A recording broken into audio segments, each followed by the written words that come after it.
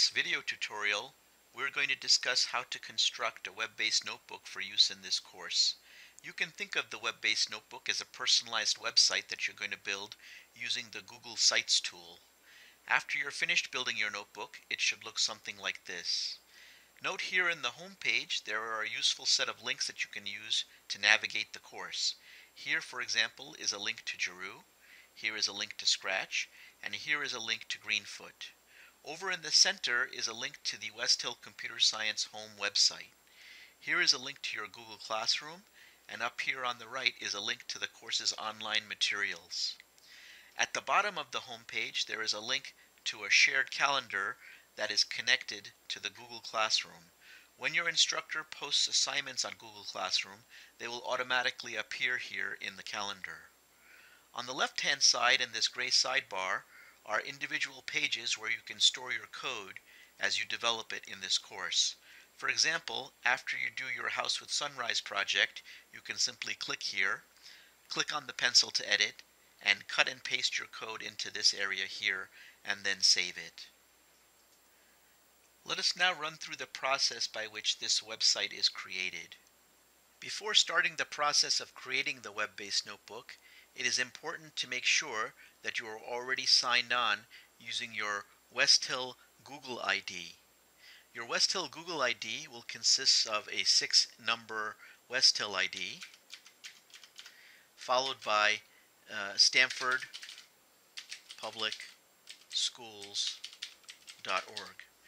Please be sure to be logged in into this numbered ID before beginning the process of creating your web-based notebook. To create our web-based notebook, we first need to navigate over to Google Sites.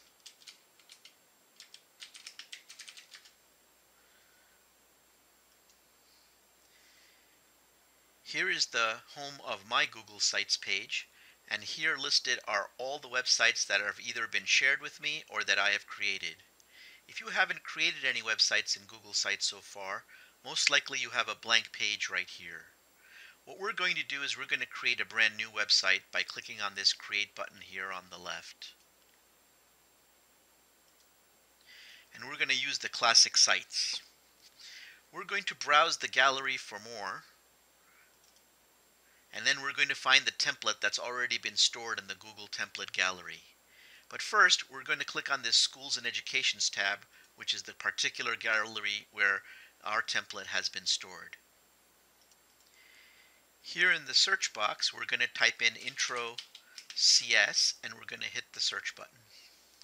This is the particular template we want, so after selecting it, we're going to hit the select button down here. Now Google is asking us to name our site. So for example, if your name is Bob Smith, you might type in Bob Smith's Intro CS Notebook. You may want to check with your instructor to see if she has some particular instructions for how to name your site. After clicking this reCAPTCHA button down here, I'm going to hit the Create button and create the website. Note that it might take several minutes for Google to process your request to create the site. I'm going to pause this video while this creation takes place. After Google is done constructing your website, you should see something that looks like this. We will now go through the process of replacing this banner with your picture, putting your name here, and deleting this line of text. For you to edit this sidebar here, you simply need to go to this wheel and click on Edit Site Layout.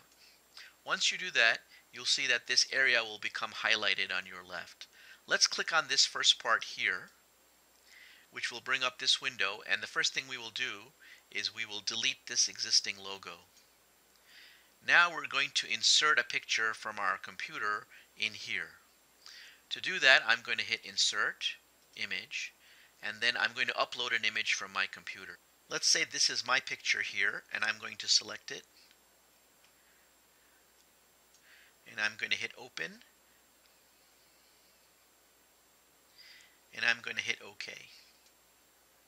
Now I want a small version of this picture, so I'm going to hit the S button, and I'm all set there. Now I'm going to replace this line with my name, and I'm going to delete this last line here. and I'm going to hit the OK button. Let me just center this picture first. Okay. And then you can see that my picture and my name have shown up over here now. After you are done configuring and editing your notebook, it is important to press the close button on the top right to save your work. Now that we have properly configured our notebook, the last thing we have to do is change the sharing permissions so that only we, the author, and your instructor are the only ones that are able to edit the notebook. To do that, we're going to click on this blue Share button, and we're going to change the permissions in your notebook. Here, you can see that currently you, the author, are going to be the only person who's going to be uh, able to write to the notebook. What you need to do is you need to add your instructor's emails to this list of people who can edit the notebook. You do that simply by putting your instructor's email addresses here and then hitting the send button down here. These are the instructor's emails if your instructor happens to be Mr. Sarkar. If you have a different instructor for this course, please ask your instructor for what email addresses to use for her.